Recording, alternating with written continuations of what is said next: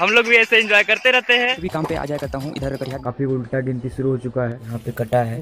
चप्पल भी टूट गया। अगरबत्ती दिखाऊँगा। हेलो दोस्तों नमस्कार मैं मिथुन कुमार। आप लोग का बहुत बहुत स्वागत करता हूँ अपने YouTube channel Mithun Kumar personal blog में। और आज हम लोग गए थे तीनों दोस्त आ, मतलब मस्ती करते करते नाश्ता खाने के लिए। और कुछ बचा है हम लोग खाते खाते भी आए हैं। और हम लोग काफ़ी मस्ती किए। और अभी घर जा रहे दिन भर तो काम किए थे।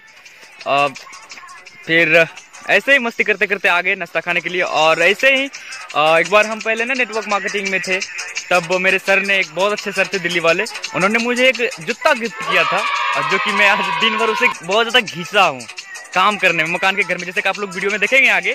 और आज उन लोग का मैं अपना दाम देख रहा था, देखा सात हज़ार रुपया, मेरा तो होश ही उड़ गया कि सात हज़ार रुपया माय गॉड अभी तो मैं घर जाऊँगा, जूता को बढ़िया से अगरबत्ती दिखाऊँगा।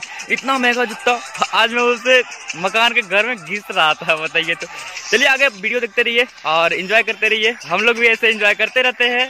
धन्यवाद।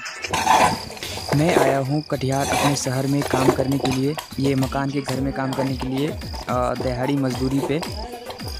मैं कभी कभी काम पे आ जाया करता हूँ इधर कटिहार में जो कि दिन के लगभग तीन सौ रुपया हो जाता है।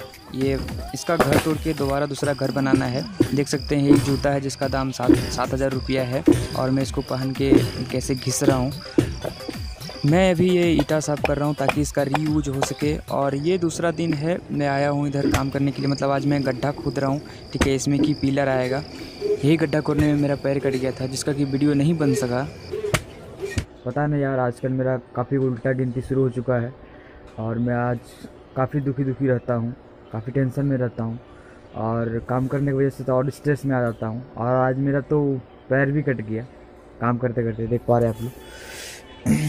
इसको पन्नी बाँध के रखे हैं और यहाँ पे कटा है बंडेज हुआ है और देखिए, चप्पल वैसे नीचे में पड़ा हुआ है। आज आए हैं दूसरा दिन काम पे और अभी खाना खाए हैं, घर में खाना भी नहीं है, मम्मी तो घर में नहीं है तो बाज़ार में ही खरीदे, लिट्टी और अभी खाए। आधा उंगली कट गया था।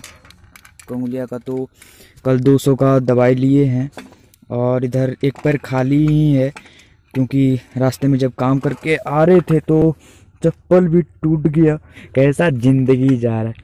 और क्या बताएँ, अभी तो पूरा डिमोटिवेट हो चुका हूँ। मजदूरी सही और दस दिन, उसके बाद तो कपड़ा का सेट हो जाएगा, फिर मैं आगे जो होगा काम करूँगा।